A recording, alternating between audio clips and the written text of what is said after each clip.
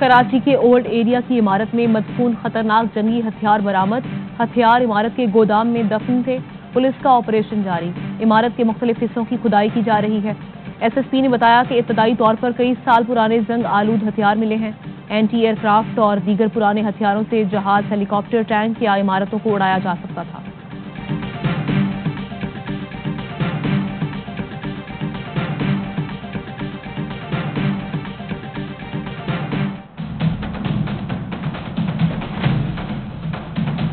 active a little branch about it.